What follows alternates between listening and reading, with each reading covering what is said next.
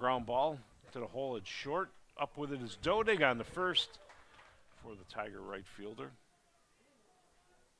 There's the pitch, and this is up the middle for a base hit. Moses is going to cut third base. He's going to get sent by head coach Rob Groh. Ball's cut off on the infield, and the Tigers are on the board to level this at one. Ball hit hard in by the shortstop out into left field. An RBI single for Kyle Porman. The wind is blowing at such a clip, the safety net is kind of bowed out. So if there was a foul ball over that way, this is hit well towards right. Drifting back on this one to the warning track and making the catch is Caleb Clark.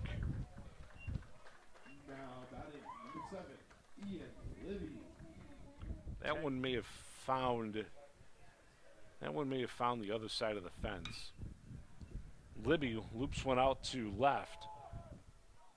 Gray makes the catch, tagging at third is Porman. The throw's cut off. Now it comes through. Porman's in there with a slide.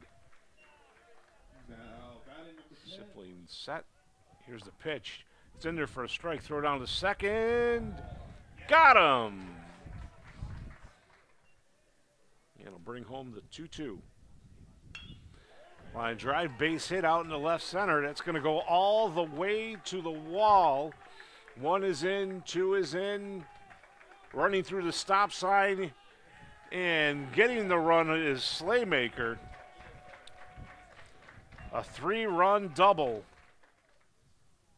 First start of the year for Sipling. The line drive base hit. That's going to go up the alley. No, it's going to be, good. it is up the alley.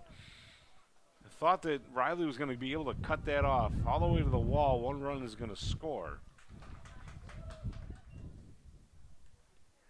0 and 2 as Fosberg looks and bring it home. This one hit out towards the gap in right center over the head and off the wall. Clark is going to pick that up. One run is going to score. Here comes the second run. Two more RBI for Charlie Slaymaker.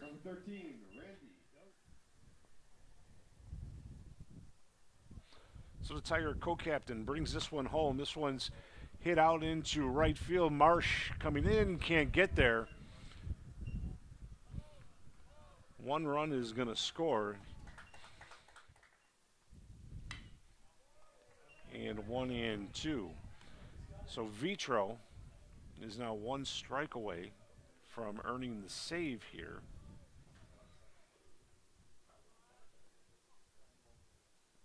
Pitch swung out and a miss, strike three, and our ball game is over.